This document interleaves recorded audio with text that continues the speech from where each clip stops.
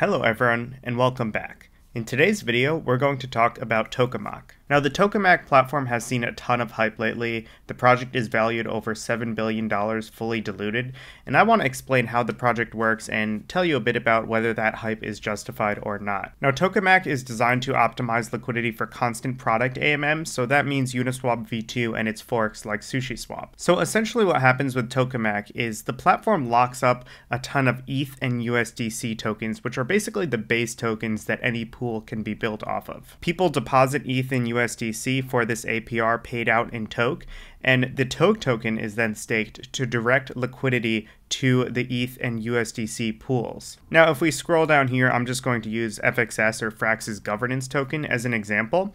Essentially, when the protocol was fully deployed, anyone that is staking TOKE could actually vote for this FXS pool to receive all of the liquidity from, say, ETH or USDC or some small portion of it. Now, let's just say I want to provide ETH FXS liquidity. So I lock up all of my token this platform.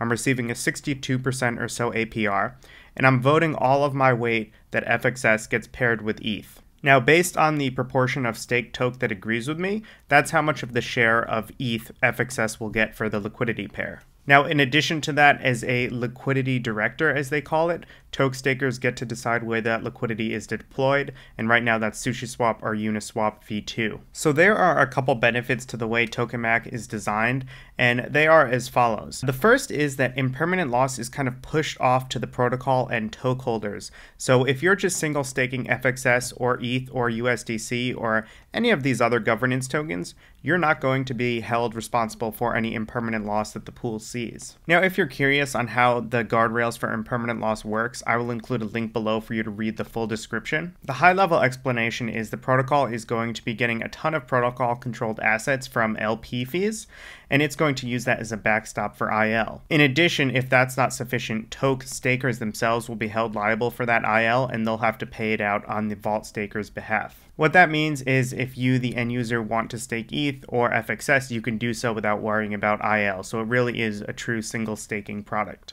Now, of course, in addition to everything we've talked about, there are a few other things you can do on Tokemak. So you can see there's a Sushi and Uni LP pool where a Toke is paired with ETH. So that's an option for you, and it looks like it's paying out, out about a 234% APR. Now, in addition, if we scroll down, you can see there are other single-sided deposits available to you other than just FXS.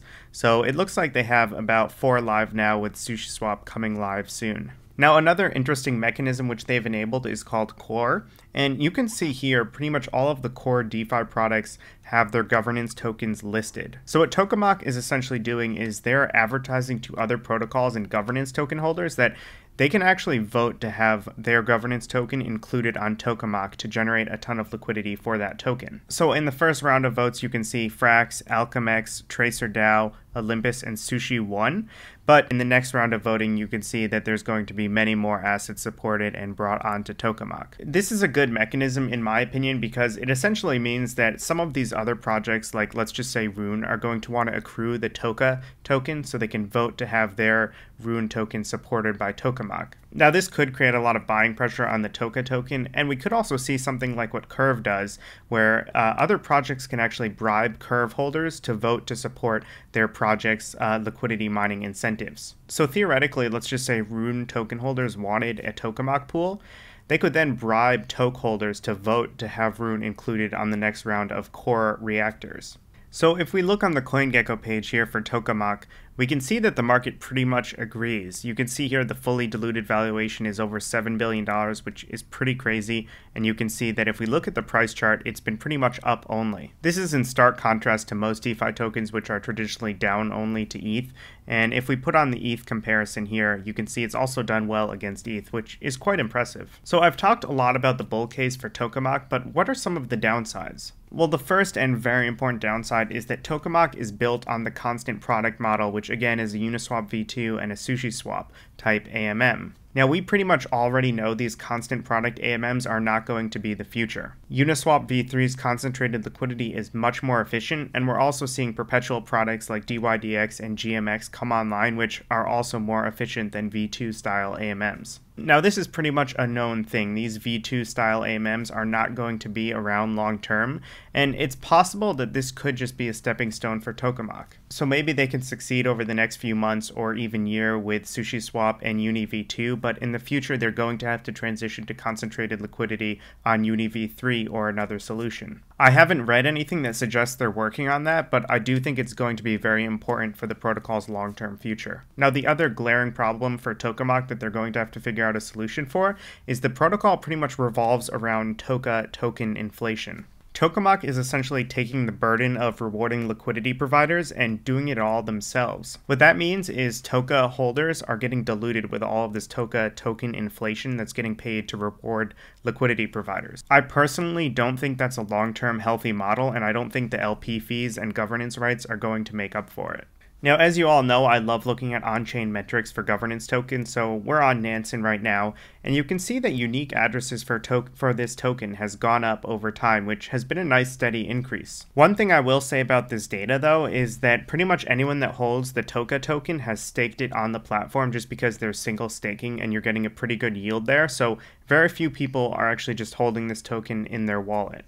What that means is that on the surface, it's pretty difficult to look at the analytics on Nansen and try to come to a conclusion, uh, but you can see we're on the Notable Wallets tab here. And it is worth noting that if we look at the top balance changes over the last seven days, there's very little selling activity. Now, one thing I would recommend if you hold a large position of the TOKE token is to actually put smart alerts on for the TOKE staking pool. You can set up Telegram alerts to get notified whenever someone pulls out, let's just say $10 million from this pool, and then you can track their address to see if they're selling it or doing something else with the tokens. Again, if you want to try out Nansen yourself, there's going to be a trial link in the description below. So I know we covered a lot there, but I think Tokemak is a pretty innovative project. That said, I do think they will have challenges protecting the value of the TOKE token, and I also think that they need to find a way to support concentrated liquidity.